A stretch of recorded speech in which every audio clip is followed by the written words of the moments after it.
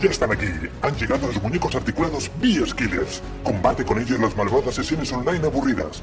100% articulados con cientos de frases. Ellos son Ricardo Aventuras. Que no me entere que pierdes el tiempo. Toma formación eficaz. Oscar Gózalo. Esto es muy aburrido. Aquí va una dinámica. Big Tip Daniel. ¿Que no sabes cómo hacerlo? Toma un Big Tip. Su libro mágico convertirás cualquier formación en una experiencia única y memorable. Ellos son los B-Skillers.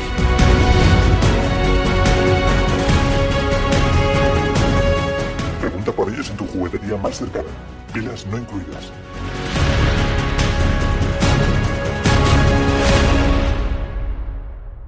Learning Legendario, episodio 45. A diario, miles de personas en cientos de empresas soportan aburridos cursos de formación e interminables presentaciones.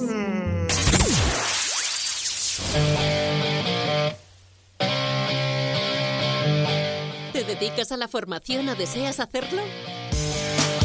¿Te gustaría crear experiencias de aprendizaje más eficaces y participativas? Entonces, este es tu podcast. Aquí encontrarás ideas, consejos y herramientas para hacer mejores formaciones. Aprende de la mano de otros formadores expertos. Esto es Learning Legendario.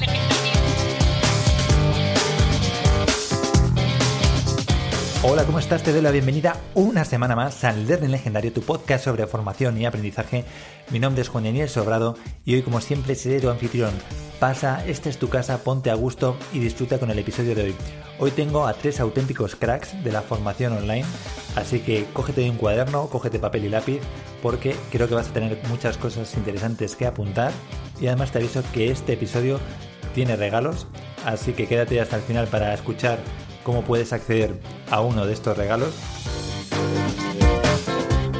Pero antes de empezar te recuerdo que si quieres aprender a crear mejores sesiones online y mejores formaciones, puedes acceder a todo lo que voy compartiendo en mi blog en learninglegendario.com.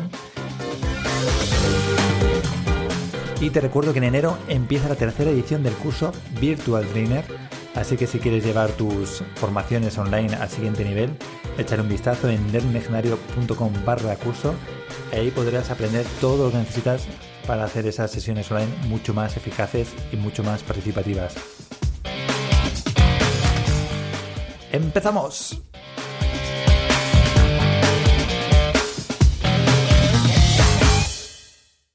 Hoy tengo el placer de poder hablar con Oscar Moto, Ricardo Ventura y Daniel Valverde. Ellos son los fundadores de B-Skiller, empresa desde la que ayudan a profesionales de la formación y educadores a dar el salto a la formación online y aprender a crear formaciones mucho más eficaces e interactivas.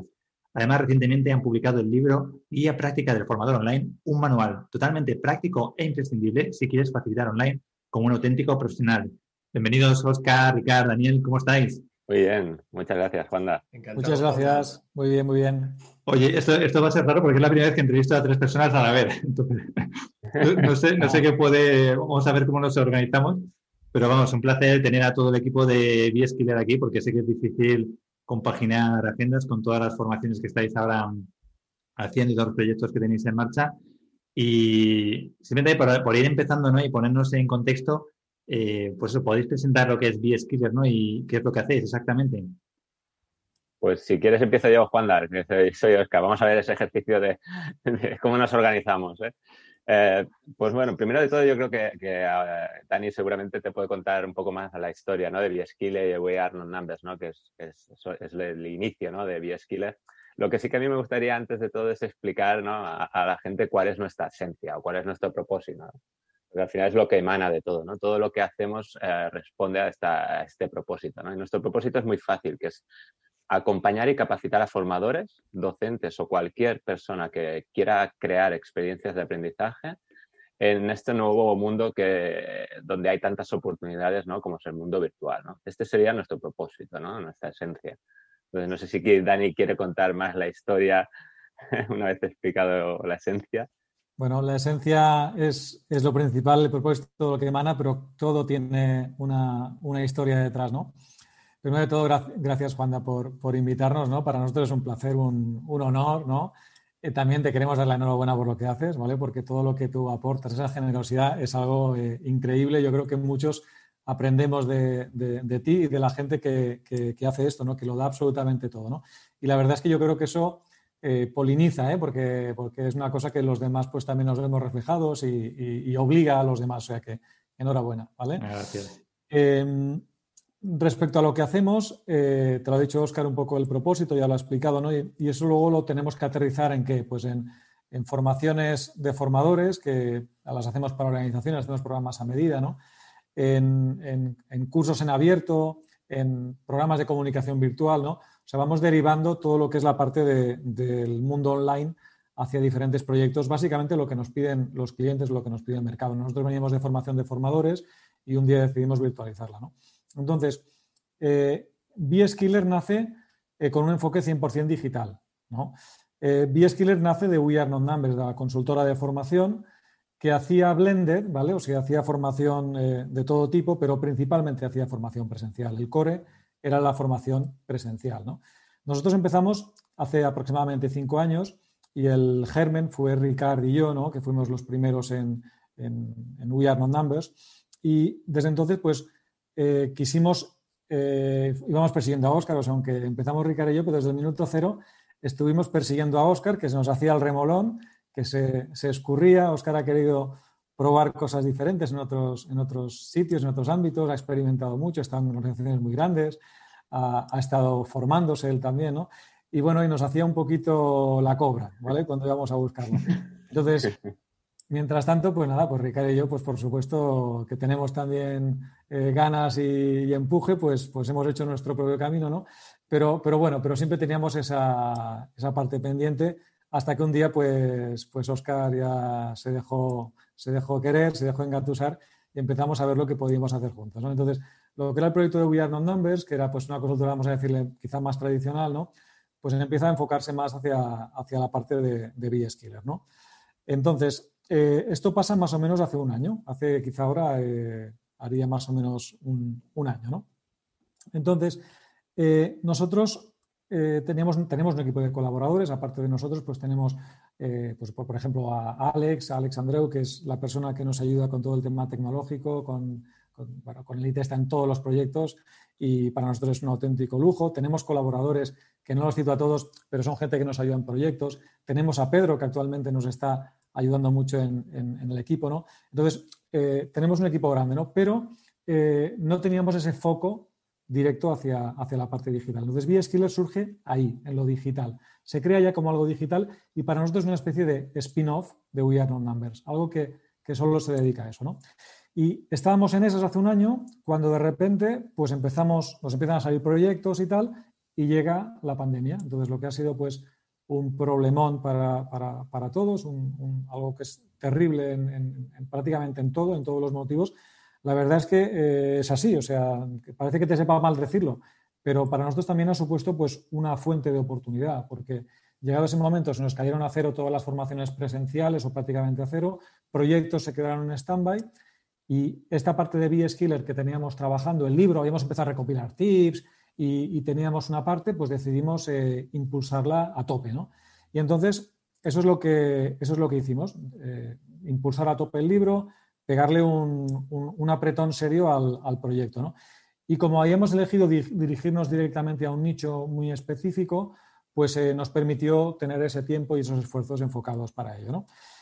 ¿Qué pasó? Pues nos dimos cuenta de que, de que empezamos a mirar un poquito la competencia, ¿vale? O sea, qué es lo que hacían los demás. Empezamos a mirar a los referentes, a los buenos, que tú ya sabes que tú eres uno de ellos, ¿vale? Te enviamos aquí a, a Oscar también a tus formaciones, ¿no?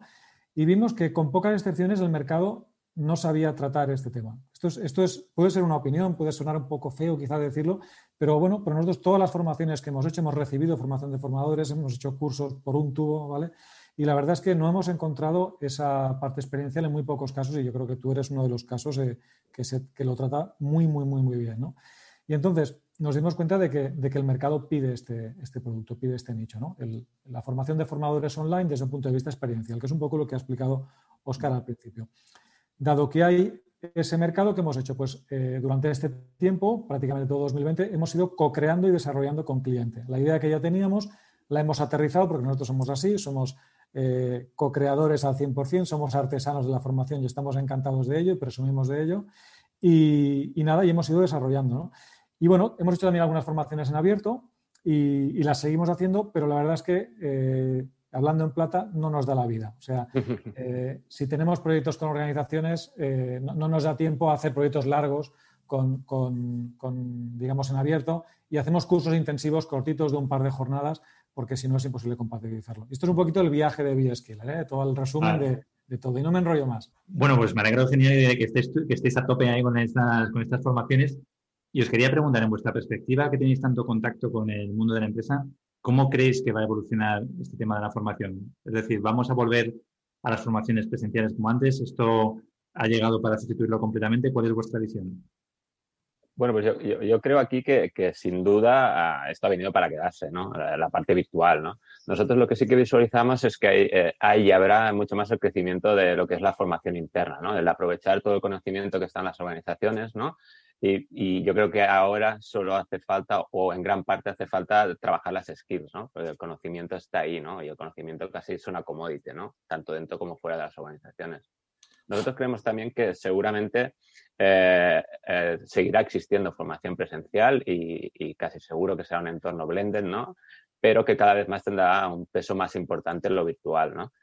Em, yo creo que también em, hay que pensar, ¿no? Si miramos un poco más allá de lo que estamos ahora, ¿no? Eh, en las oportunidades que brindan, ah, por ejemplo, el Big Data, ¿no? O, la inteligencia artificial, ¿no? Porque, por ejemplo, el Big Data seguramente ya está permitiendo, porque lo vemos en alguna organización, customizar prácticamente el 100% ¿no? la formación al alumno, que al final, como todos tenemos, ¿no? como comentaba Dani, el foco al final es el alumno ¿no? y la experiencia que vive el alumno. Yo creo que aquí se están desarrollando iniciativas y habrá más ¿no? donde permitirá prácticamente una customización 100% de, de esta experiencia de aprendizaje. Y yo creo que la inteligencia artificial, que em, nosotros abogamos, ¿no? que a día de hoy ya, para nosotros se pueden generar experiencias igual o mayor ¿no? en virtual que en físico, yo creo que la inteligencia artificial dará un paso más allá. ¿no? Porque aquel que quiere la presencialidad ¿no? o la sensación de estar presencialmente con gente, yo creo que acabará de romper esa barrera, ¿no? Porque podré estar al lado tuyo, al lado de Ricardo, en, en, un espacio físico y verlo y sentirlo como tal, ¿no? seguramente en poco tiempo, que entonces aún más ¿no? será menos necesario esa virtualidad. ¿no? Entonces es un poco el mapa que nosotros vemos a, corto y medio plazo. Sí, la, la verdad con esto de la inteligencia artificial una cosa, mm, una cosa también que, vamos, eh, no, recuerdo ahora dónde lo vi, pero también el tema de agentes de aprendizaje virtuales. El, imaginar, por ejemplo, que tú pudieras estar con una reconstrucción eh, casi de como Seneca, ¿no? Imagínate que tú tuvieras la oportunidad de tener una conversación con un filósofo que igual que estamos hablando ahora mismo por Zoom nosotros, pues pudieras tener ahí a Seneca que realmente te fuera haciendo preguntas conforme va entendiendo lo que vas diciendo, ¿no? Y, y llevar en ese proceso de reflexivo que es verdad que todavía queda, pero bueno, eh, no sé qué, joder, te tengo que buscar también porque hay un bot en China que además dice que ha salvado a personas de no sé cuántos suicidios. Y es un bot con el que hablan los, chavales, que le pueden consultar y les va dando respuestas. Y mm, la verdad que al final son herramientas muy potentes que, que, bueno, que iremos viendo, como tú dices, Oscar, cómo se van, cómo se van integrando. Y la verdad que es una cosa apasionante. Y, pero bueno, volviendo a nuestros días, ¿no? Estamos encontrando ahora, vamos. que nos inspira. Eh, en vuestro trabajo ayudando a estos profesionales a dar el salto al online, ¿con qué barreras vienen? Es decir, ¿con qué creencias sobre la formación online, eh, me refiero a creencias limitantes, vienen y, y, cómo trabajáis con esas creencias? ¿Qué es lo que os estáis encontrando? Yo, ahora entra el tercero en discordia, ¿eh? que no, no por ser el tercero, eh, mis comentarios van a ser menos importantes que, los de mis dos sociamigos. Eh, entonces, lo, que acabas de preguntar, Juanda, si te parece, para, no, para, para, no, dispersarnos, comento las principales creencias y a, su vez proponemos la solución, ¿no? No, siempre tenemos que estar en la, en la queja, ¿no? sino que hay, que hay, que hay que ver la oportunidad también, ¿no? La, primera de todas yo te diría que es muy básica, que es que al final la experiencia en online eh, nos creemos que es peor que la, que la presencial, ¿no? Esa es la, la, primera barrera, ¿no? Nosotros aquí la rompemos de una manera muy fácil y es poniendo al alumno en el centro. Tú cuando vives la experiencia en primera persona, pues te das cuenta que sencillamente esto es solo una creencia, ¿no? Entonces, eh, como dicen, ¿no? No, hay más, no, hay nada más que, hacer el camino cuando empiezas a andar, ¿no? Pues los ponemos a trabajar y de esta manera pues ya, ya, ya, lo ven, ¿no? Eh, la segunda creencia, creo yo, eh, que podría ser la parte de que todo lo virtual es mucho más difícil que lo, que lo presencial, ¿no? Y, aquí yo creo que la palabra difícil tiene que ver mucho con la resistencia al cambio, eh, a lo desconocido que, tenemos todos, ¿no? Hemos estado acostumbrados a trabajar de manera eh, presencial, entonces nosotros queremos ir a lo fácil, a lo conocido, a lo que ya sabemos, y cuando vas a lo virtual estás saliendo de tu, de tu zona de, confort. Entonces, ¿cómo lo solucionamos esto? Pues como, como decía un maestro que tuvimos hace muchos años en formación de formadores, es ponernos a trabajar. O sea, una vez lo vivencias y, lo, y te pones a trabajar en primera persona, pues eh, eh, esto, esto se acaba, ¿no? Y te, das cuenta del universo que se abre y no de la dificultad que, propone, ¿no? Entonces, eh, una tercera barrera, yo, yo, en la manera cuatro principales, pero una tercera barrera sería que hay que adaptar con calzador el tiempo de lo que hacemos en online. O sea, creemos que que todo lo que hacemos exactamente en presencial lo tenemos que poner como en un embudo, ¿no? En online. Para mí, bueno, para nosotros es, es otro eh, gran error, ya lo decía, ¿no? Eh, Einstein, que no podemos pretender hacer lo mismo, eh, o sea, cambiar las cosas haciendo exactamente lo mismo, ¿no? Entonces, nosotros aquí superamos esta barrera, pues viendo que un mismo contenido trabajado desde un punto síncrono y asíncrono, pues te das cuenta que das el mismo temario y la interactuación y productividad es, muy diferente y aumenta en, online, ¿no? Y basado en esta experiencia, pues, pues la, gente lo, puede copsar. Y por último, y para mí yo te diría que, es la más eh, importante, eh, es la gestión eh, emocional dentro de una formación virtual. La gente se piensa que lo virtual es frío, que no es, no es emotivo, ¿no? Nosotros de inicio ya con una primera dinámica preguntándoles sobre cómo están captando su atención eh, emocional con un simple eh, mentimeter, pues ya, pueden experimentar en primera persona pues que esto también va de emociones y no va solo de, máquinas y de, y de, webcams, ¿no?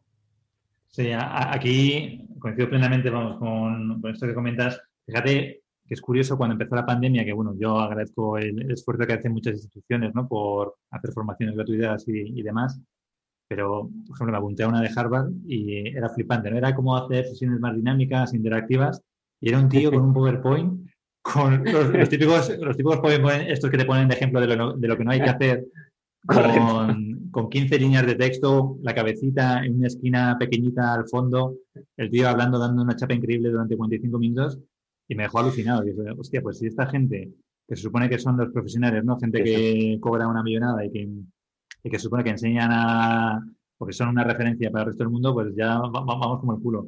Es verdad que van mejorando, o sea, les he ido haciendo auditoría, ¿no? Y en las últimas han ido mejorando, pero, joder, eh, la verdad que queda, queda mucho, ¿no? Al, a nivel de las cosas que se pueden hacer y, la, y lo que tú dices y, y, cómo se puede interactuar con la gente en el online. Y aquí te quería preguntar, Ricard, para que la gente que no lo, que no lo conozca, has, citado una herramienta que se llama Mentimeter. ¿Podrías simplemente contar qué es? Ah, correcto. Pues sí, eh, al final eh, Mentimeter eh, es una herramienta interactiva en la cual tú vas haciendo una serie de, preguntas al auditorio y la gente lo contesta al momento y ve el resultado al momento, ¿no? El ejemplo que te ponía era, por ejemplo, al principio de todo es, ¿cómo estáis? Pues nosotros ponemos cuatro fotos, ¿no? Que pone aburrido, estresado, expectante y contento, ¿no? Pues de esta manera aquí ya te da un debate, ¿no? Entonces lo que a veces hacíamos en plenario, en presencial, de, qué queréis, eh, eh, cuáles son las normas de actuación un poco de la formación de hoy y tal, pues eh, te permite hacer, por ejemplo, una nube de, palabras co-creado ¿no? y, y co-facilitado con el, con, el, público. Está y, y muchísimas más cositas. Sí, fíjate al hilo de esto que comenta Ricard, que también es otro punto importante para quien nos esté escuchando, que también yo he visto muchas veces el error de, de que te apuntas a un curso y claro, la gente va llegando, pero está todo el mundo en silencio. Es decir, si la, sesión empieza a las 5, está todo el mundo callado hasta, hasta las 5, ¿no? Y solo a veces se oye una voz que dice,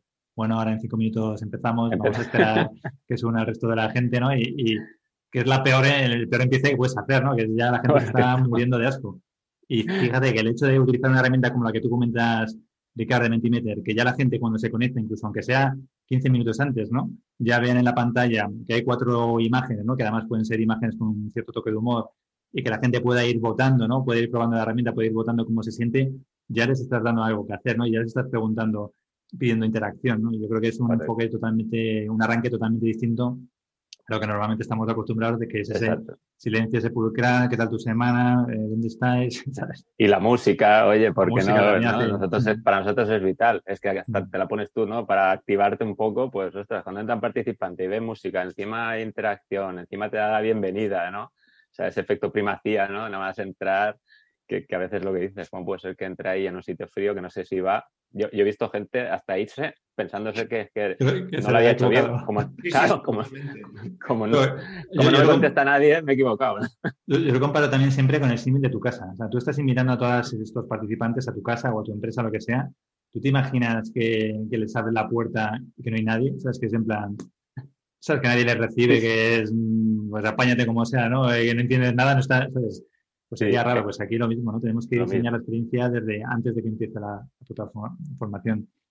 Pero, si me permites, Juanda, eh, hicimos eh, una experiencia en un webinar de mucha gente en esto que comentas, que eh, lo, que hicimos de principio fue que la gente se fuera conectando y pusiera en el chat desde, desde, desde dónde se conectaban, ¿no? Entonces, todo el mundo, y, y, era una conferencia que fue para 2.000 personas, ¿no? Entonces, claro, la gente iba haciendo y esos 10, 15 minutos, pues la gente me gusta, hay alguien de Valencia, uno de Madrid, uno de Santiago de Chile, uno de no sé qué, ¿no? Y luego, pues a lo mejor incluso ya te daba, eh, te, daba un poco la, pauta para empezar con un poco de humor, ¿no? Bueno, estamos conectados con el mundo mundial, ¿no? O sea, tenemos gente de Chile, de Nueva York, del pueblo al lado de mi casa y de tal, ¿no? Y entonces, bueno, esto hacía que la gente ya fuera algo diferente, es lo que dices, ¿no? No estaban todos en la puerta con los brazos cruzados eh, empezando a entrar. Sí, totalmente. ¿Y qué hacemos con estos participantes que a lo mejor no han tenido esa experiencia en el online todavía, que es su primer contacto prácticamente con un ordenador? ¿Cómo les ayudamos a superar esta barrera tecnológica? Que a veces te puedes encontrar con participantes que no sepan ni abrir el Zoom. ¿Qué hacéis o qué podemos hacer para ayudarles? Pues mira, Juanda, eh, respecto a este tema, nosotros es un tema que nos preocupa, nos preocupa mucho. Nosotros, uno de los temas que más nos enfocamos es cómo tratamos los diferentes niveles en sala. ¿De acuerdo? ¿Cómo conseguimos que el que tiene un nivel más bajo se pueda enganchar a la sesión y cómo conseguimos que el que está arriba del todo no pierda esa experiencia? ¿no? Eso, co-creando con el grupo y co-facilitando, se consiguen muchas cosas porque permites a veces que unos ayuden a los otros, ¿no? Pero siempre hay estas barreras que tú dices y, como tú bien dices, hay, que planificarlo previamente. ¿Cómo lo gestionamos? ¿no? Pues nosotros, una cosa que hacemos y que nos han felicitado, nos ha sorprendido mucho porque nos han felicitado un montón de veces ya, nos dicen, nos han dicho esto literalmente varias veces, oye, este es el mejor mail de pre-work que he visto en ninguna formación. Nos lo han dicho multinacionales que trabajan con, equipos worldwide, ¿vale? Nos lo han dicho en varias ocasiones, ¿no? Y básicamente es porque hemos puesto mucho mimo en trabajar este tema previamente a la sesión, ¿no? Entonces, ¿qué hacemos? Algo tan simple como que prueben todas las herramientas, ¿de acuerdo? Una forma dinámica. Les ponemos una forma muy sencilla y muy simple y muy enfocada les damos instrucciones concretas para que vayan probando. Entonces, cuando llegamos al online, eh, quien, quien, ya ha probado esas herramientas eh, puede eh, hacer la sesión, puede desarrollar la sesión entera, íntegra, sin ningún tipo de barrera. Entonces, quitas de, esa sesión, de esa parte síncrona, que al final es la parte con que tienes menos tiempo, quitas toda la parte de barrera, quitas toda la parte de, dificultades, ¿no? Lo aíslas, ¿no? Y creo que eso es una de las cosas que, que son más importantes y que y que bueno, al final dices, bueno, pues oye, esto lo hemos hecho bien, hay otras cosas que las cambias, que dices, pues aquí no hemos estado finos, ¿no? Y tienes que ir rectificando y estas las que estamos teniendo pues un feedback más, más positivo, ¿no? Entonces, en resumen, te diríamos que empezamos la sesión antes de la sesión. Hay que, hay que darse cuenta también de que hay, hay gente que todavía no, no, no, lo tiene demasiado claro, ¿no? que dado que en online siete horas de presencial o seis horas de una jornada en online acaban siendo dos, pues para poder hacer el resto lo tienes que hacer en asíncrono. Entonces tienes que empezar la sesión antes de la sesión. ¿no? Y luego eh, es todo un poco lo mismo, learning by doing, ¿no? Decir, oye, pues lo que decía Ricardo hace un momento, pues exactamente lo mismo. O sea, si tienes que ser haciendo, ¿no? Y, en línea también a lo que te decía, creando las, las, comunidades de aprendizaje, que nos gusta crear esas comunidades de aprendizaje, eh, donde interactúen los participantes también previamente. A veces también hay esta barrera de la comunidad no se puede crear antes. Bueno, a lo mejor no son conscientes de que están haciendo comunidad, pero depende de qué herramienta utilices para facilitar, de dónde los mandes en este pre-work y tal, estás ya creando comunidad. Y luego se lo anuncias si quieres. Luego les dices, oye, pues esto que hemos estado haciendo ha sido esto, pero tú ya has creado antes esa comunidad. ¿no? Entonces, estas son las maneras así básicas que te podríamos decir que se me ocurren así ahora a bote pronto. ¿eh? está, está, genial, son unos consejos geniales. Y ah, también para quienes estés escuchando, muchos software de videoconferencia también tienen como la opción de probarlos. Es decir, pues tú te vas a hacer un punto US barra test y la gente puede probar la herramienta, ¿no? Incluso aunque tú no estés conectado y hacer esas, esas pequeñas pruebas que comentaba Daniel. Entonces, bueno, no nos oye nadie, pero está en nuestro mail de pre-work. Sí, yo creo también ¿no? Para, para, aterrizar un poco más en, la pregunta en el cómo, ¿no? Que decía Daniel, ejemplos prácticos, ¿no? Que ponemos ahí, ponemos, como tú dices, herramientas de probar la, ¿no? De test de las propias herramientas, hay algunas si no las tienen y también para traducirlo, ¿no? Les hacemos un vídeo tutorial muy fácil de 3, 4, 5 minutos donde les mostramos, ¿no? Qué es lo que tiene que hacer, qué cuesta nada, ¿no? Hacer ese vídeo tutorial, entonces dices, tengo la herramienta, puedo probarla, me han dicho cómo usarla y además normalmente les hacemos hacer ejercicios para que la vivan, ¿no? Porque como no es lo mismo contarlo que vivirlo, ¿no? Se lo hemos contado, se lo hemos dado y encima les hemos hecho hacer algún ejercicio con ella, ¿no? Para que ya experimenten y que si tienen alguna dificultad, pues la curva de aprendizaje sea mucho menor, ¿no? Estas cosas puedes hacerlas todas en un pre-work, ¿no?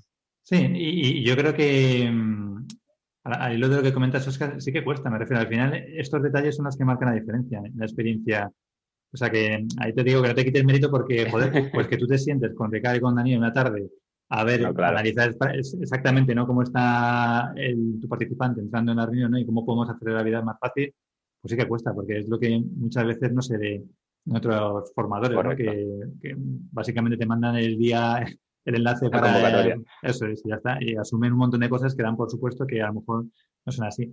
Pero bueno, sin entrar, sin entrar ahí, eh, os quería preguntar, y cuando pasamos ya a la hora de hacer dinámicas o ejercicios, ¿se pueden conseguir dinámicas y ejercicios tan potentes como hacíamos en las presenciales o como hacemos en las presenciales?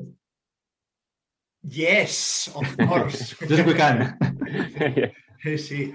Eh, eh, es facilísimo. Es gestiona el grupo, pon la gente en el centro y gestiona sus emociones. Ya está. No, es más complicado. a veces hay que creemos en la cuadratura del círculo y, como nosotros decimos en B-Skiller, menos es más. O sea, siempre es súper importante el menos, el menos es más. Está claro que también debes eh, variar continuamente de registro, ¿no? Eh, divide en grupos, utiliza objetos físicos en una dinámica virtual que, en la cual haces un, breakout. Ahora haz un microvídeo o pones un microvídeo de, de dos minutos. O sea, diferentes temas que, que tú continuamente eh, estés variando mucho para que tu cerebro al final se conecte, ¿no? O sea, eh, solo hay una opción para conectarse y hay un millón de excusas para desconectarse, ¿no? Entonces tienes que buscar esa opción de, estar eh, conectado. Y, por último, nosotros también creemos que es súper potente el tema, el tema de, la función de, hacer grupos, ¿no? De breakouts, por ejemplo, que lo permite Zoom. Ahora sabemos que Teams está a punto de, de sacarlo y esto hace que, se acerca muchísimo ¿no? a, la, dinámica presencial, cuando tú presencialmente hacías de, ahora estos cuatro trabajanme esto, estos cuatro lo otro, pam, y vas pasando por grupos, pues nosotros consideramos que es una, es una herramienta increíble el tema, el tema de poder hacer grupos virtuales. Con esto de los grupos, te lo digo también porque me lo pregunta mucha gente, ¿cómo habéis resuelto vosotros cuando os obligan a utilizar una herramienta que a lo mejor no tiene esa posibilidad, como por ejemplo ahora Teams. Bueno, a lo mejor ahora cuando se publique el podcast ya Teams lo, lo permite y permite hacer grupos. Pero cuando os encontráis con que el cliente os obliga a hacer una determinada herramienta y, queréis hacer grupo, ¿lo descartáis totalmente o pensáis la manera alternativa de hacerlo?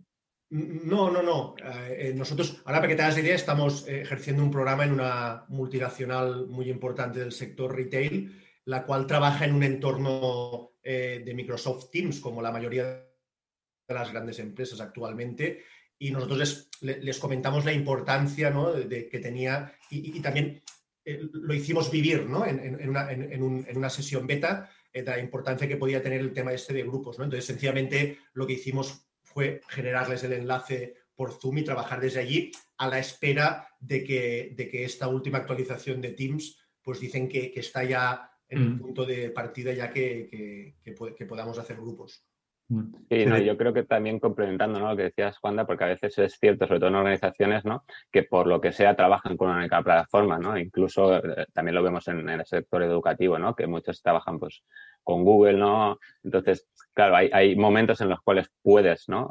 tener esa oportunidad de, romper y otros que no, pero yo creo que eh, también ahí está el pensar fuera de la caja, ¿no? esa creatividad de cómo puedo generar espacios de trabajo diferentes, ¿no? Cómo puedo incluso fuera del aula, ¿no? Como decíamos antes, antes, crear grupos, ¿no? Porque puedo crearlos, no, no en la plataforma, ¿no? Entonces puedo tener grupos, por ejemplo, que haya conformado antes a través de, de, por ejemplo, Teams si lo utilizan, ¿no? Donde tienen unos canales y unos equipos, donde ahí los voy a llevar, ¿no? Para reflexionar y que puedan hacer la videollamada luego ellos. O sea que al final tú puedes tener, ¿no? El aula física virtual donde estés tú, que igual no te permite tener esa rotura de grupos, pero porque no los puedes mandar a, oye, haceros una videollamada por WhatsApp durante estos cinco minutos, ¿no? Que tenemos todos y trabajar en grupos, entonces volvemos aquí, ¿no? O sea, que al final pensemos fuera de la caja y no nos limitemos porque al final las herramientas hoy permite esto y mañana seguro que hay muchas más cosas, ¿no?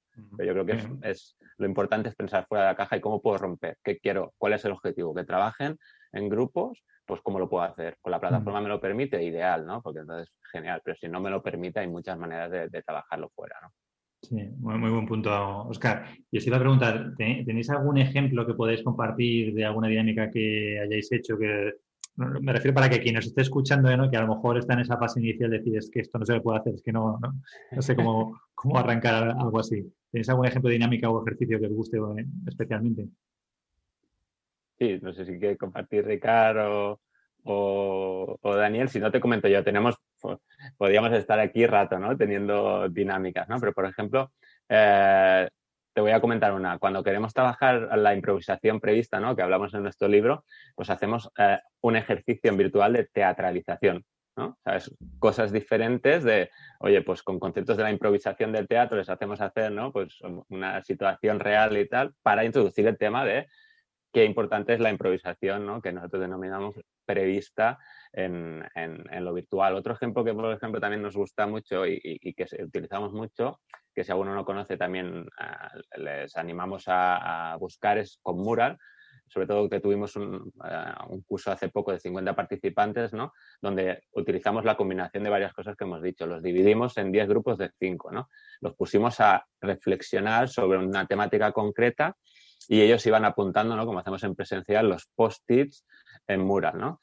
En un mural, además, colaborativo, que luego cuando acabaron de trabajar por grupos los volvimos, ¿no? Y un representante de cada grupo exponía qué es lo que había conseguido, ¿no? Y a partir de ahí nosotros co-creamos y generamos la idea, ¿no? Entonces, estos son dos ejemplos ¿no? de dinámicas quizás un poco más diferentes para que la gente visualice todo lo que permite ¿no? hacer el, el mundo online. ¿no? Sí, para, para quien no conozca Mural, eh, lo estaba comentando Oscar, es una herramienta, es como un lienzo donde tú puedes colaborar con otros participantes y poner POSIT, pues igual que si tuvieras una pared física y estuvieras situando notas, notas adhesivas. Eh, poner todos los enlaces en la nota del programa, así que si nos estás escuchando, no te, no te estreses, que yo te lo pongo luego en la nota del programa. Y vale, y esto, bueno, el que nos está escuchando que hace formaciones, pues bien, lo va, lo va pillando, pero ¿qué hacemos en el caso de lo, por ejemplo, esto que me preguntaban en un curso que, hice en agosto con formadores gallegos, y había ahí educadores que a lo mejor tienen 5 o 7 horas diarias de clase durante varias semanas, ¿no? ¿Qué hacen para enganchar o para dinamizar esas clases en el online? Muy bien. Esta, esta me la pido yo, ¿eh? aunque acabo de hablar y que me gusta hablar mucho, es que el mundo, sobre todo el mundo de, la educación, ¿no? y más los que tenemos hijos, yo creo que, y los que nos gusta enseñarnos, es, eh, nos apasiona. ¿no? Entonces, este es, es, uno de los grandes retos y que nosotros siempre eh, hablamos de ello ¿no? en las conferencias también y, en entrevistas que nos han hecho, ¿no? Es cómo podemos ayudar ¿no? dentro de, este propósito al, al, sector educativo en este viaje, ¿no? que además lo han tenido que hacer de una manera seguramente mucho más acelerada que, que quizás ¿no? los que ya trabajamos en esto tenías ¿no? ya planificado este, este cambio, esta transición un poco. ¿no? Eh, aquí partiría, lo primero es de, eh, y perdonar, es un poco quizás políticamente incorrecto y, y, evidentemente respetando muchísimo la labor que hacen los docentes, pero analizar cómo hacíamos esto ¿no? estas clases previas ¿no? a hacerlas virtual. ¿no? Porque esto que todo que, que hemos comentado, ¿no? de poner al alumno en el centro, ¿no? Y más hoy en día donde el conocimiento es una commodity, ¿no? Donde todos nuestros alumnos hoy en día pueden acceder a un clic a cualquier conocimiento, ¿no? Entonces, yo creo que, que esta parte eh, debemos ser muy conscientes antes de, de, trabajar una sesión, ¿no? Es el para qué, ¿no? El por qué y para qué es importante para ellos eh, trabajar esta temática o este aprendizaje que le queramos dar, ¿no? Para que tenga sentido, porque es que si no al final el, el participante desconectará, ¿no? Dicho esto, yo creo que otro de los retos que tenemos es, capacitar a nuestros alumnos en, que sean eh, esa parte crítica en cuanto a la búsqueda de información. Si decimos que el conocimiento está a un clic, pues seguramente tenemos que hacer muchos más avances en, dotarles de esa capacidad crítica de, oye, ¿qué fuentes de información tenéis disponibles? ¿no? ¿Cuáles son más fiables? ¿no? ¿Cuáles eh, les gusta más experimentar? ¿no? Y esto es como una parte previa, ¿eh? y, aún no he respuesto a la pregunta, ¿no? Pero sí que es cierto que, oye, y además en este entorno virtual, ¿no? Si seguimos el guion que nos ha dicho Ricard, que el proceso de aprendizaje que nosotros intentamos eh, trasladar en nuestras sesiones es que lo primero es que quiero que el participante experimente y reflexione, ¿no? que lo viva.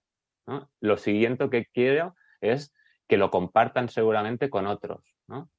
Lo tercero que quiero es que lo, lo expongan, ¿no? Y por último, lo que quiero es trasladarle yo el aprendizaje. Entonces, vemos estos cuatro pasos si cuadran con las clases que estamos acostumbrados o hacemos al revés, que es contamos la temática y ya está, ¿no? Entonces, pues un ejemplo, puedes construir todo con estos cuatro ejes de una manera súper participativa sin romperte mucho la cabeza. Es qué idea fuerza quieres trasladar. Entonces, como decíamos, ¿no? Si el Internet lo tienen y, además están delante del ordenador, ¿por qué no los puedes poner a oye, buscad lo que encontráis en Internet sobre este tema. Y compartirlo ¿no? por grupos con el resto de compañeros. Sacar las conclusiones que yo creo que saquéis. Las debatimos en grupo. Y por último, el profesor o el docente ¿no? le da esa devolución. Porque quizás nos sorprende, ¿no? Y ha sido el propio alumno o los propios alumnos que ya han encontrado la respuesta y la han vivido, ¿no? Pero yo creo que siguiendo ese guion, a partir de aquí, como siempre decimos, herramientas diferentes recursos, utilicemos varias, ¿no? Sencillas que, o sea, por herramientas no nos va a faltar. Y muchas veces el docente, ¿no? Eh, se va ahí de esa barrera, ¿no? De, ostras, es que no tengo las herramientas. Si las herramientas tenéis, vamos, eh, por exceso, como decimos nosotros en el libro. Pues hemos hecho una selección de 40 casi para, para romper esa barrera, ¿no? Que hace falta que busquéis empezar, pues estas son sencillas. Pero teniendo lo otro, luego de herramientas tendrás las que quieras para ir cambiando de registro, ¿no? No sé si Sí, Daniel. He respuesto. Sí, sí, Volviendo a la pregunta un poco, Juanda, eh, aquí la única reflexión que, nosotros también hemos tenido en este debate a menudo es eh, el mundo, el mundo docente, el mundo educativo, es un mundo bastante más normativizado y más encorsetado, ¿no? Entonces, eh, hay una limitación que hay, que echar una dosis de realismo, ¿no? Es decir, ¿hasta dónde? ¿Qué es lo que puedo yo cambiar sobre esto y no, no? Entonces, dado que hay restricciones que son muchas veces inamovibles, tenemos que movernos en las franjas de lo que es posible. Entonces, lo que, lo que explica Óscar es, dentro de lo que se puede hacer, eh, eh, vamos a intentarlo, ¿no? Y luego hay veces que nos encontramos que hay, hay personas que lo pueden hacer dentro de sus organizaciones y hay personas que no tienen esa capacidad, no son capaces de convencer a quien tiene que tomar la decisión, ¿no? Entonces, eh, somos conscientes de que no es fácil. nosotros creemos que la tendencia ha de ser esta y creemos que es una tendencia muy clara pero tampoco tenemos claro que esto sea un cambio fácil de, llevar a cabo, ni masivamente ni a corto plazo. ¿eh? No, este es también muy buen punto, ¿no? Porque yo una de las cosas que les cuestionaba en este curso es que, coño, ¿quién te obliga a estar siete horas eh, delante de la pantalla, ¿sabes? Porque no cuestionas eso. Decía, no, es que, de hecho, tengo que estar porque es como funciona el tema de los créditos y encima, pues, eh, me pueden hacer una revisión, alguien se puede conectar a la, la sesión y ver si estoy haciendo la clase pero que, pero que yo creo que efectivamente Daniel y Oscar es lo que tenemos que por lo menos intentar eh, cuestionar ¿no? o retar. Y en este sentido, pues también, ¿sabes? A lo mejor es verdad que tienes que estar siete horas conectado con los chavales, pero bueno, una de esas horas o dos horas puede ser que el chaval haga un ejercicio individual donde pueda dejar de mirar a la pantalla, donde pueda buscar información en un libro, o incluso, yo qué sé, depende de tu temática, que se vaya a dar un paseo al parque y que, y que te responda a 10 preguntas, ¿no? Y que vuelva fresco. Sea, me refiero que dentro de eso yo creo que hay que romper un poco el corsé, porque al final la gente te reduce 7 horas, vale, pues son 7 horas de que me tengo que preparar 7 horas de PowerPoint o 7 horas de contenidos. Lo que dice Oscar es clave, darle la vuelta y decir, si es que el contenido está a golpe de clic, pues que lo busquen ellos. Y, en este sentido yo también siempre doy ese consejo de, ser vago. Oye, cuanto menos hagas tú, que es lo que tú decías también, Oscar, menos es más, mejor va a ser para ellos. O sea que... Es así. Y además yo creo que es importante, ¿no? Como estamos viendo en el teletrabajo, que al final hemos hecho un experimento social, ¿no? Que hemos roto ¿no? barreras de las creencias de que, oye, si la gente no la tengo aquí a mi lado, ¿no? O conectado todo el rato, no va a trabajar yo creo que hemos visto que la sociedad y además tiene que ir mucho más a atender hacia proyectos, hacia la libertad, hacia la responsabilidad individual. Entonces, si la sociedad va ahí, yo creo que la educación debe ir ahí. O sea, lo mismo, oye, creemos que si no estoy viendo al alumno siete horas no va a trabajar. Entonces, no queremos eh, hacer esa cultura del esfuerzo, esa cultura de responsabilidad individual, ¿no? no queremos empoderarlos a buscar la información o, como tú decías, a salir y saber que no está en el parque, sino que está haciendo la temática. Pues al final o rompemos ese corsé y esas barreras para fomentar precisamente ese aprendizaje en nuestros alumnos, que es un camino, como decía Dani, que no será fácil, pero yo creo que a eso estamos, ¿no? los que nos dedicamos a, formar a formadores y nos gusta el aprendizaje para luchar ahí y yo estoy seguro que cada vez más ¿no? iremos rompiendo con esas barreras. Oye, y en relación a la fatiga delante de la pantalla, que también es algo que se comenta a menudo, la gente, bueno, pues que tiene que hacer formaciones o sesiones y al final pues acaba ahí con los ojos acristalados, está tanto con el delante del ordenador. ¿Qué, ¿Qué, consejos daríais tanto para el formador como para los propios participantes para reducir esa fatiga delante del ordenador? Esta es fácil, ¿eh? O sea, a veces es fácil decirla, lo difícil es aplicarla, ¿no? Pero yo creo que esta es fácil de, responder. Eh, en online tenemos que hacer muchas menos horas. Entonces, eh, la sesión que eran siete horas te la tienes que llevar a dos horas, dos horas y media. Estirarlo más de ahí no puedes porque realmente la fatiga visual es el principal aspecto, pero también la tensión. Estás quieto, estás tal, no te no mueves lo mismo. No es lo mismo la tensión, la posición en una silla, etc. No es lo mismo que, en presencial. Entonces tienes que trabajar bloques de trabajo que también individuales, sin cámara, en grupos, en asíncrono. Permitirles también descansar. Lo que decía Oscar de estos eh, breakouts que a veces hacemos sin tener la función de breakouts, a veces teniendo la función de breakouts, no los obligamos a estar en la pantalla y les damos la recomendación de estar mirando a otra cosa o utilizar el papel es muy importante alternar. Entonces, igual que alternamos diferentes cosas, han hablado, Ricardo ha hablado de lo físico y lo virtual, alternar diferentes recursos y de esta manera permitir que la vista no esté solo fijada eh, eh, pues a 20 centímetros de ti o a 30, sino que esté fijada pues un poco más adelante. Aunque estés en una habitación, por lo menos que esté 3 o 4 metros para allá o, en el boli del papel.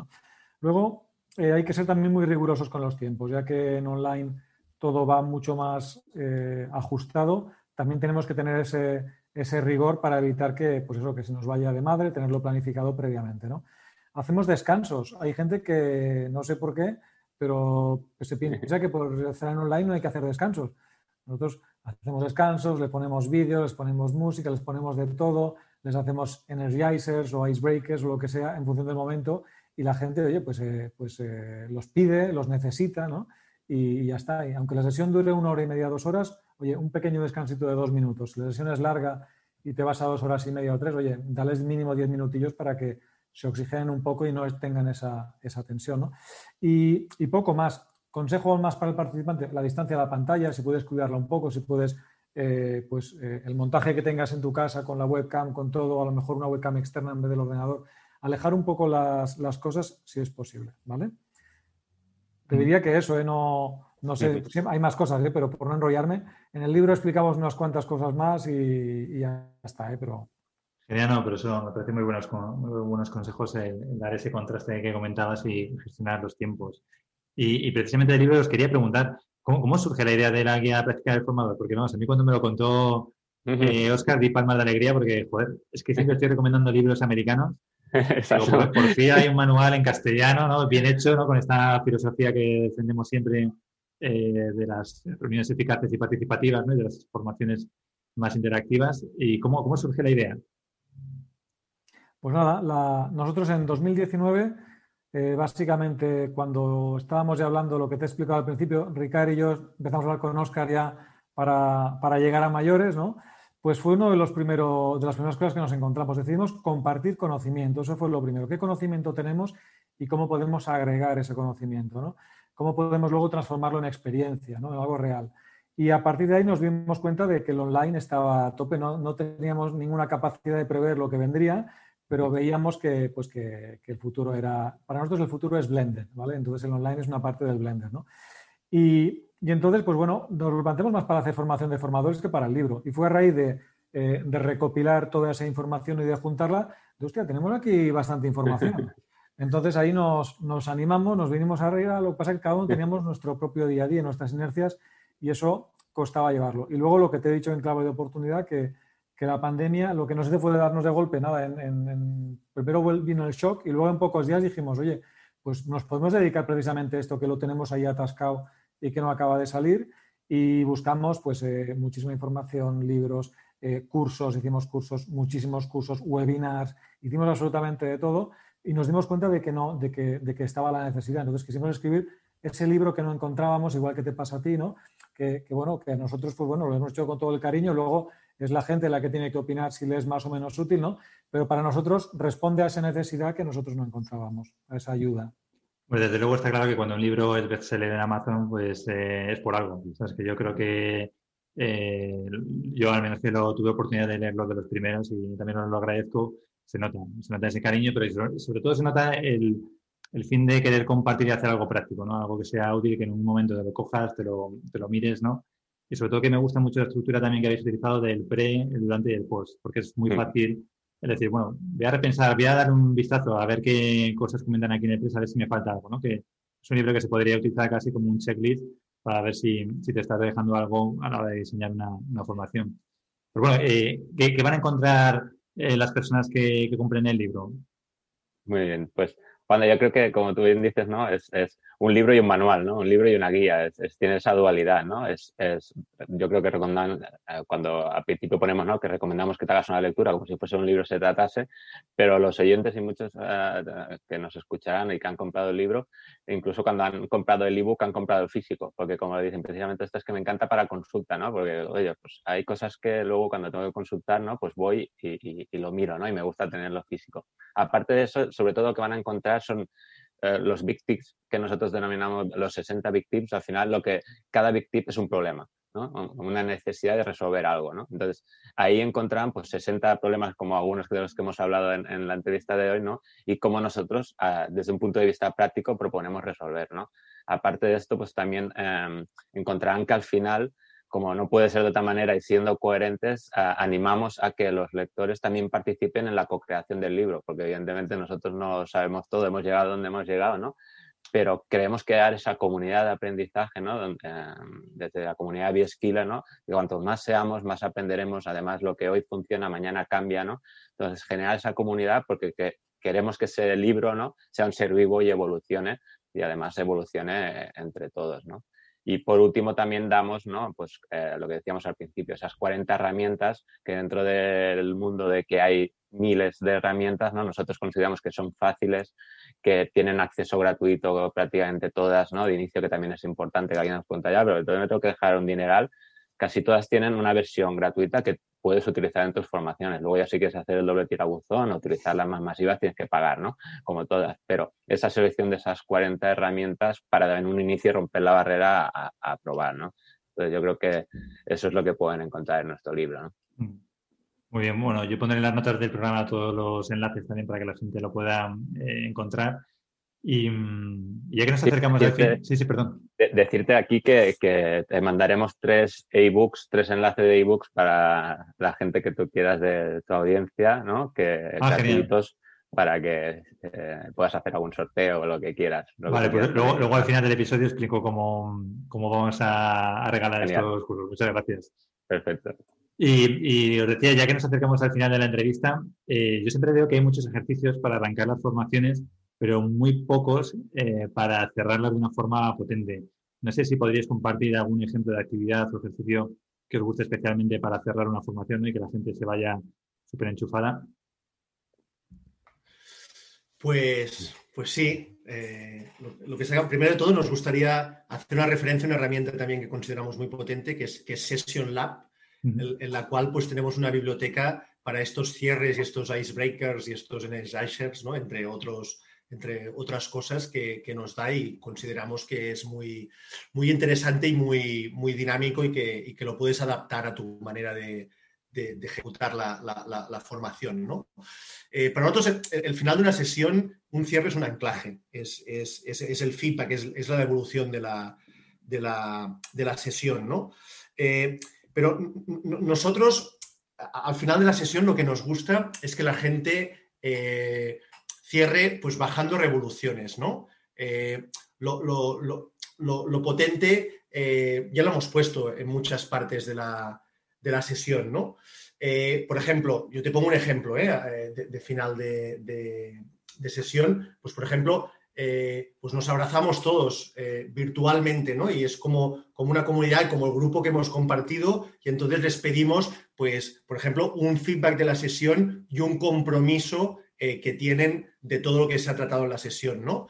esto al final nosotros consideramos que, también es, es, potente, es un, es un resumen y, provoca un cierto compromiso. Mm, está genial. La verdad que no me, no me he abrazado virtualmente, pero pero me parece una idea, me, gusta porque activa el cuerpo, que es algo que muchas veces olvidamos, el hecho de simplemente de levantar los brazos para hacer como que abrazas a un compañero. Eh, y luego también el, hecho de compartir ese feedback entre todos, ¿no? que muchas veces, pues a lo mejor lo que uno eh, se ha dado cuenta, ¿no? lo que uno ha visto como un aprendizaje clave y que piensa que va a aplicar, otro no lo ha visto o, y le sirve perfectamente y es algo que también se, se lleva. Así que me parece un ejercicio súper potente. Y, ya para terminar, siempre le pido a los invitados que compartan alguna historia, anécdota o cuento que les guste especialmente. No sé si tenéis alguno para compartir. Uf, bueno, a ver, que ahora me ha venido, ¿eh? El, me acuerdo, eh, primero de todo tengo que decir que, que Dani eh, es una persona que siempre me ha machacado con todo el tema de tenerlo todo súper preparado, que no falle nada a última hora. Eh, bueno, hacer lo que depende de cada uno, ¿no? Luego pasará lo que pasará, pero el, círculo este del depende de mí nosotros lo tenemos muy interiorizado, ¿no? Me acuerdo que hicimos un, un roadshow por, por varias ciudades eh, españolas eh, de, la principal asociación de asesores financieros de España. Y, el primero nos fuimos a Madrid, llego allí, un hotelazo de estos, una sala que te viene, que te viene pues eh, eh, el, el, botón es allí, te lleva hasta allí, necesita algo el señor para la conferencia y tal, un equipo tecnológico que no sé la pasta que valía, algo, algo brutal, ¿no? Y entonces me acordaba de, mi socio amigo Pepito Grillo Dani que decía, prueba la música, prueba todo antes, la presentación. Yo con este, con este tema toda la mañana probando la música cada dos por tres, porque empezaba la dinámica con una, con una música, funcionaba perfecto, venía, o sea, había, había el jefe de técnico del hotel, el técnico de sonido del hotel, o sea, era, era brutal, ¿no? Bueno, total que, la música que sonaba de fondo era Gladiator, la, banda sonora de Gladiator. Pues nosotros, por la tarde, viene toda la gente, corbatados, trajeados, la gente tal, bueno, y nosotros queríamos empezar la sesión con, un ejercicio en el que cerraban los, los, ojos, queríamos empezar de una manera disruptiva y sonaba esta música de fondo, ¿no? Eh, era muy curioso porque la conferencia era adaptabilidad a los momentos de cambio, ¿vale? Entonces resulta que, esto nos pasó en primera persona, ¿no? Ya te puedes imaginar, le damos a la tecla, suena cinco segundos la música que había sonado durante toda la mañana y de golpe y porrazo eh, deja de funcionar, ¿no? Pues ya me ves a mí yendo para allí pidiendo eh, disculpas, me engancho y a todo esto no funcionaba bien la calefacción de la, de la sala y hacía como, estabas como en el infierno, ¿no? Entonces, claro, yo veía gente encorbatada con la chaqueta, eh, allí pasando calor, no había sola música, decía, joder, adaptabilidad del cambio, adaptabilidad del cambio que estoy teniendo yo con esta gente, ¿no? Entonces, lo que se me ocurrió fue, oye, estáis pasando calor, íbamos a empezar, oye, esto ha sido algo para que vosotros lo experimentéis en primera persona cómo es adaptarse continuamente a los cambios y a las cosas que uno prevé, ¿no? Entonces, hacer una cosa, os quitáis la chaqueta, os quitáis la corbata, os quitáis el pañuelo a las chicas, hacéis como en las bodas, movéis así y, así como en círculos, ¿no? Y os volvéis a sentar, ¿no? Pues esto fue una manera en la que me tuve que adaptar a, los cambios, ¿no? que era el, el leitmotiv de la, de, la, de la conferencia, ¿no? Y me acordé también mucho de, mi amigo Dani, que por mucho que lo repitiera muchas veces, lo que dependía de mí lo había hecho, pero la realidad es que cambió todo este tema. La conferencia salió espectacular, fue totalmente diferente a la que tenía que ser, pero salió espectacular, o sea que eso también, pues, pues bueno, pues te da la oportunidad de probar cosas nuevas. No, pero, me encanta la historia porque al final es lo que hablábamos también antes que, Oscar, que mencionabas eh, ejercicios de impro. Al final, una cosa que se hace en impro es el abrazar el, error, ¿no? Oye, pues si hay un error o sucede algo imprevisto, vamos a abrazarlo. En vez de intentar ocultarlo, intentar esconderlo, eh, vamos a aprovecharlo y a potenciarlo. Y me parece genial lo que cuenta Ricardo de decir, hostia, pues mira, vamos a, eso es un ejercicio que hemos preparado para, ¿no? para que os adaptéis. Correcto. Aquí en el mundo online, que sepa simplemente que nosotros decimos una cosa, ¿no? Que si aparece el niño solo tiene una obligación que es presentarlo, ¿no? Entonces, eh, o una mascota, entonces no empujes al niño si te aparece, no le eches de, exacto, no le pegues y le eches, sino, oye, póntelo encima, que, que, además somos nosotros los que tenemos que agradecer que en estas circunstancias donde está todo el mundo en casa, ¿no? Agradecer a la gente el que pueda estar en un curso de formación con nosotros con, con, todo esto. Entonces, oye, coge a tu niño y sí que uh, preséntalo y ya. O, habrá el mensajero de Amazon, ¿no? Que le ahí a la gente ahí. Cuando... no me ha sonado a mí. Ahora a mi mujer le digo, por favor, contento un poco porque está todo el rato sonando el de Amazon. Oye, Oscar, Ricardo, eh, Daniel, ¿dónde puede contactar la gente que quiera conocer más sobre vosotros? Pues, pues, fácil. Nosotros tenemos eh, la página web, ¿vale? b-skiller.com, ¿vale? Guión alto, guion medio, vamos. Y tenemos ahí puesto tanto, tanto la dirección de contacto como, el, como el, los teléfonos. O sea, nos pueden localizar por tierra, mar y aire, porque también estamos en redes sociales. E intentamos estar todo lo activos que podemos dentro de que hacemos muchas formaciones y siempre estamos peleados con las redes sociales de decir, ostras, esto lo estamos haciendo y no lo estamos explicando, tenemos que lo explicado pasan dos días y dices, ahora, ahora ya no lo pongo, ¿no?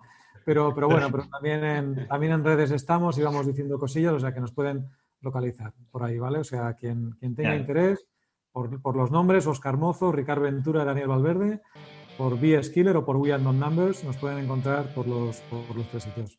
Pues nada, lo pondré ahí, lo pondré en, las notas del programa también en contacto. Y nada, daros las gracias porque yo creo que ha sido una, de las entrevistas más prácticas que hemos hecho aquí, con un mogollón de consejos, de buenos tips y de Big, de big Tip, vamos a llamarle. Big Tip.